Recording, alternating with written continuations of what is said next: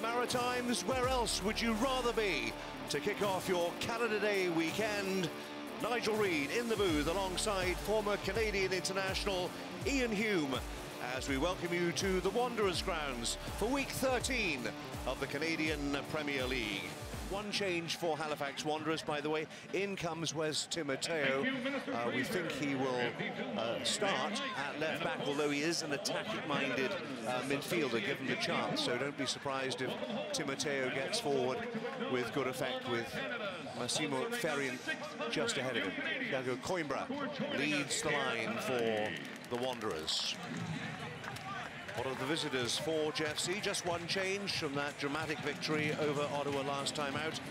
Into the back line comes the recall of the tall Swede, Alexander Achinioti Jonsson, the 2022 Canadian Premier League Defender of the Year. He'll play alongside Andreka James. Bekker put it right on top of the edge of the six, probably. Bekker delivers into the mixer it goes. It was there to be one, beats everybody out to that far side. Rama can knock it in again. Fillion didn't quite get there. Is going to be a goal kick. Fillion decides to go long this time. Enough of playing our way out of the back. Coimbra pushes it down. Fillion got a push, surely from Rama. Again, no whistle. Just by Ferrin.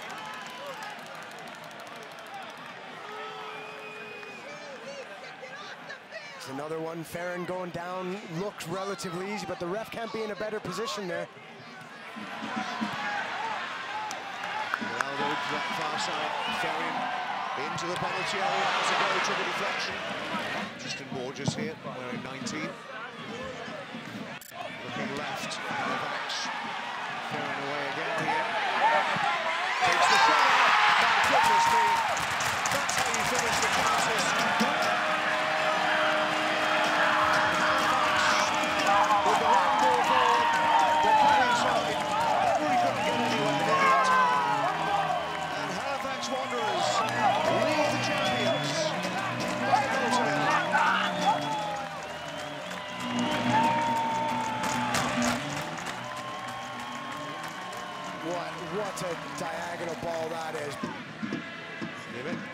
forward. A little short. Kane was in. Bekker may have a little room here. This could be dangerous. There is certainly room on that uh, far side. Pacius wants it. Borges has got it. Goes for goal. Forces the corner from Fillion.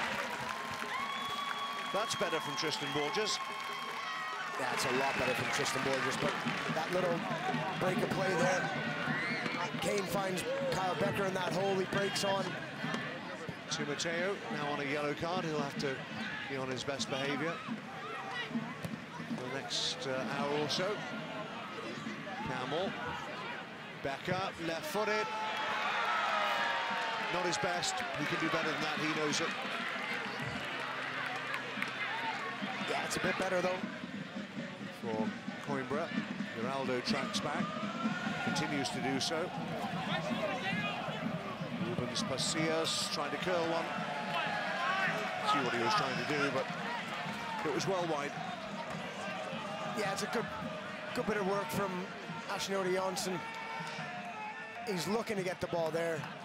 Geraldo's tried to nudge. I'm pretty sure there's one guy in there who defense, Defenders Union won't be saying that's a penalty. Ferrin looking for the angle. Oh, well, he, his eyes lit up for a moment. He was going for top corner, but couldn't keep it down. Just leant back as he hit it. James Borges now operating on the right-hand side. Ahead of Pacius, in behind perhaps. Oh, it's in the end. Jason and Fillion got that really smartly. And the ball was almost across his goal line. And that's the first time he's really been tested. And he was equal to the task. Remember, they lost four of their previous five before beating Ottawa 4-3 last week. Duncan hit his own man again, breaks for Borges. And Bekker, what a goal! Saw it coming, his eyes lit up, and left-footed, sweet as a nut, into the corner. Fillion could do nothing about that. And with two minutes to go, it's all square in Halifax. Wanderers won, Forge won. Forge FC. When they met in April, it also ended in a 1-1 draw, and that was a late equaliser for Forge. By Pacius, who's no longer on the field. Ferrin, just for a moment. And then Ferrazzo.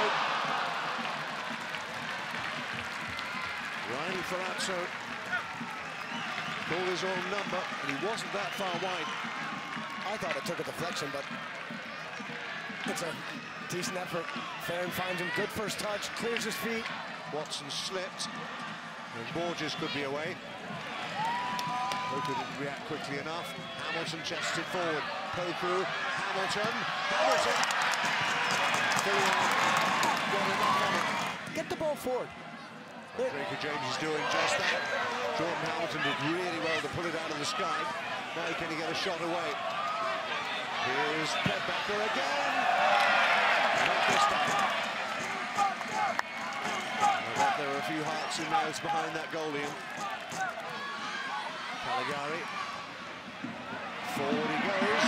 Oh, maybe, just maybe, that's got to be a penalty. Surely it's a penalty. Referee points to the penalty spot with 10 seconds to go. It's a clear penalty, surely. But it's a penalty for Halifax with virtually the last kick of the game. Goodness me, Ian Hume. What drama in Halifax. There'll be plenty of discussion after this one. Can Henry deny Nimick the winning goal? Nimick for Halifax in the corner, wins it for the Wanderers.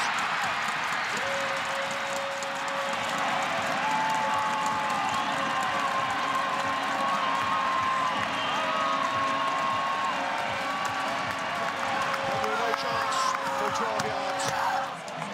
We are still playing on in the floodlights. Johnson from long range. Now the referee blows a final whistle, and in the most dramatic style, Wanderers have beaten Forge. Nimics celebrates with his teammates. Ferrin scored a wonderful goal midway through the first half. Kyle Bekker replied from long range with two minutes to go, but a dramatic stoppage time penalty from Dan Nimick has claimed all three points for Halifax Wanderers.